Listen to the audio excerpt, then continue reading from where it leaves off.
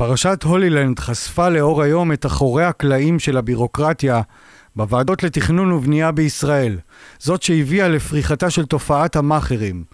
בנוסף לכך, רק לאחרונה פרסם ארגון הבריאות העולמי כי רמת זיהום האוויר בישראל היא מהגבוהות בעולם, ודווקא עכשיו הורה שר הפנים להוציא את נציגי ארגוני הסביבה והחברה האזרחית מוועדת המשנה לנושאים תכנוניים עקרוניים של הוועדה הארצית לתכנון ובנייה.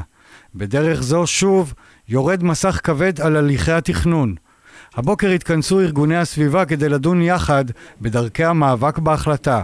אנחנו עושים הרבה עבודה עם תושבים, ואנחנו רואים איך המידע מגיע לתושבים לגבי הליכי התכנון בשלב מאוד מאוד מאוחר, רק בשלב ההתנגדויות, שבו למעשה התוכנית כמעט גמורה. ואנחנו חושבים שבהקשר הזה, הצעד הנכון לעשות הוא אכן לחשוב מחדש על הרכבי הוועדות, אבל מה שנכון לעשות הוא לעשות את זה בכיוון ההפוך. לא להשתיק את הקול הציבורי בוועדות, אלא לחזק אותו, להוסיף נציגי קבוצות מיעוטים שהיום הקול שלהם לא נשמע. ועדות התכנון בעצם הן אחראיות לתכנן דברים שהם קשורים לכל היבטי החיים שלנו. איפה יעברו כבישים, איפה יהיו מוסדות חינוך, איפה יהיה אזור תעשייה, איפה, איזה סוג בנייה תהיה, איפה יישאר שטח ציבורי פתוח וכולי וכולי. כל, כל ההיבטים האלה שמשפיעים על החיים שלנו. אה, אם אין מגוון אה, גופים שבעצם מביאים את מגוון האינטרסים האלה לשולחן, שומרי הסף האלה, אה, בעצם זה לא יבוא לידי ביטוי, ואז רק אינטרסים מאוד צרים ינצחו.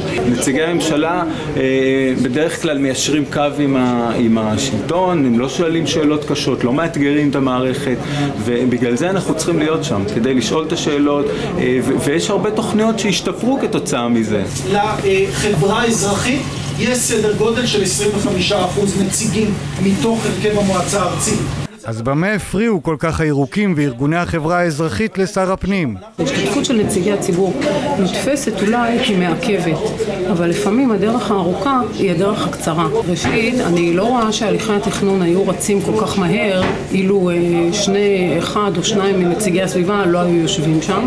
שנית, מהירות ויעילות זה לא הכל בחיים. אם מדברים על משבר הדיור, משבר הדיור קודם כל פוגע בנו, כן? אנחנו אלה ש, אה, שקשה לנו היום אה, לשכור דירה, לקנות דירה, אה, ובעצם זה שחושבים על גבינו איך צריך לפתור את משבר הדיור בלי באמת להתייעץ איתנו, לקבל החלטות בשמנו של לבנות בפרברים או בשטחים פתוחים, שזה בכלל לא מה שאנחנו רוצים, כן? רוב הדור הצעיר היום רוצה דווקא לגור במרכזים עירוניים שיש לו שירותי ציבור, שיש לו תחבורה ציבורית. אני חושב שלא סתם אה, מנסים להדיר אותנו מהוועדות האלה, כי זה הכיוון שמוסדות התכנון היום לא לוקחות אליו. מוסדות התכנון היום לוקחות לכיוון של פרבור, של הקמת עוד ועוד יישובים. כינוס החירום הבוקר הוא יריית הפתיחה של קמפיין הירוקים וארגוני החברה האזרחית נגד ההחלטה להדירם מהליכי התכנון. ממשרד הפנים נמסר לנו כי השר מתכוון לבחון מחדש את ההחלטה.